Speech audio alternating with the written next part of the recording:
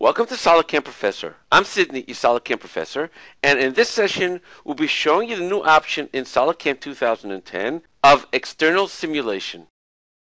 This option is extremely helpful for when using simulation on a part and when the simulation will take a long time.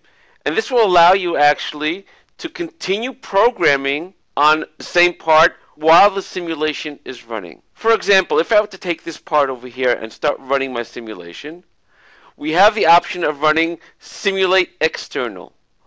By simulating external, it'll open up a separate window within our program that will run the simulation. Now, in this window, we have all of our simulation options. I can start running, for example, my Solid Verify simulation.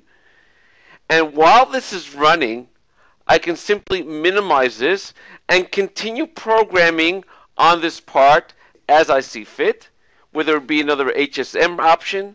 Go back over here, see what's going on over here. This way, not wasting time, I'm running my simulation and waiting for the simulation to end to continue programming my parts. Thank you for joining us on SolidCAM Professor. Take care and have a nice day.